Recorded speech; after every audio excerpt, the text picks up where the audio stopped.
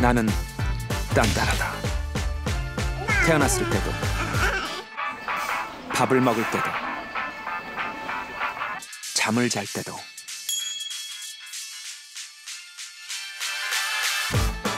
지금도 앞으로도 영원히. 그리고 그게 자랑스럽다. 카메라 앞에 서기 위해 태어난 사람. 무대 위가 더 편한 사람. 너무 재밌는 게 서로 또 알아봐요.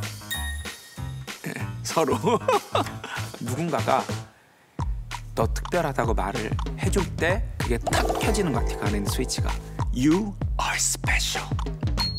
사람들을 웃기고 싶거나 울리고 싶거나 감동을 주고 싶다면 코미디든 연기든 노래든 춤이든 클래식이든 성악이든 트로트든 전혀 상관없습니다.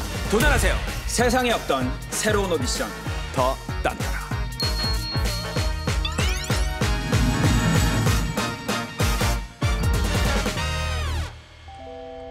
밤이면 또 어느새 네 생각에 잠겨 사람들이 토하면 어떡하지? 그게 목표예요. 그러면 진짜 성공하고요, 형 진짜로. 이거 옷 편하게 입을까?